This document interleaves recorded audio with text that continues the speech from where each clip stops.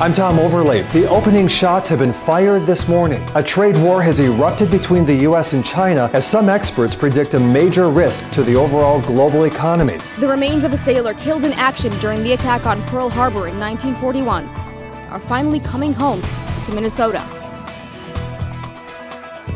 Lots of sunshine for today, and you'll need that sunscreen again for this weekend, but what about the umbrella? Join us tonight at 10.